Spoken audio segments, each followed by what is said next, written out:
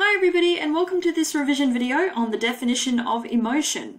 This will be very helpful for exam revision. So let's get started. So what is emotion? The definition that you all need to remember is the following. A personal experience that involves a mixture of physiological responses, subjective feelings, and expressive behaviours. So all three elements above that I've just said need to combine to form a complex pattern of bodily and mental changes associated with the experience of an emotion.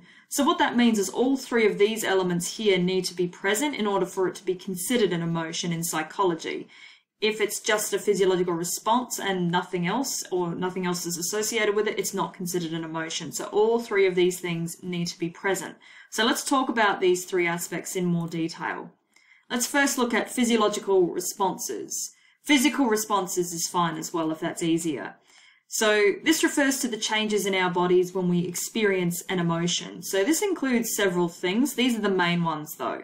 So an increase or decrease in heart rate, our galvanic skin response, so we start to sweat, an increase or decrease in blood pressure, we may have dilated pupils, and we often have hormone releases such as adrenaline. This is what causes that shaky feeling. Now, there are more that's not listed here. Crying is also a physiological response.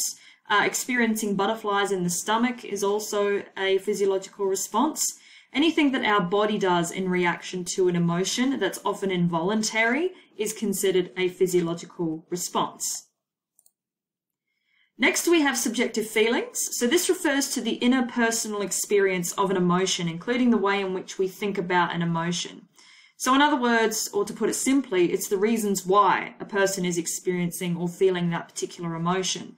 So we know that the term subjective means that it's subject to bias or subject to someone's opinion. So only that person knows why they're feeling the emotion of happiness or sadness, for example. It's unique to them. So what makes me happy won't necessarily make you happy. What makes me sad and cry won't necessarily make you, you know, you cry and be sad. So it's subject to that own personal interpretation and that own individual because no two people are the same.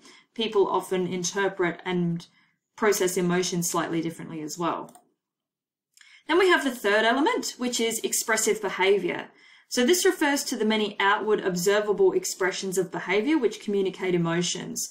So the key word, as you can probably guess, is observable. We need to be able to watch it and observe it as scientists. And anything that may communicate what an emotion a person is feeling is considered an expressive behavior. So this can include facial expressions such as smiling, frowning, uh, baring our teeth, and so on.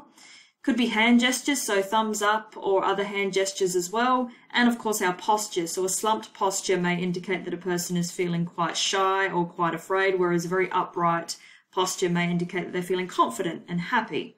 But it needs to be something that we can observe, otherwise it's considered a physiological response or a subjective feeling. Now, it's important to mention at this point as well that in order for us to analyze emotions or try and measure emotions accurately, we need to obviously take all three elements into account.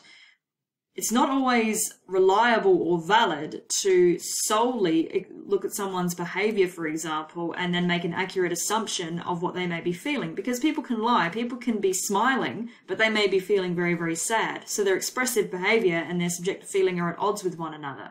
So that's why, ladies and gentlemen, just going back a little bit, we need to look at all three elements to, as accurately as possible, assess emotion and study emotion. So, physiological responses, subjective feelings, and expressive behaviour. So, I hope you found this video useful, ladies and gentlemen. If you have any questions at all, obviously you know what to do. Send me an email or come and see me in class. Otherwise, happy revising!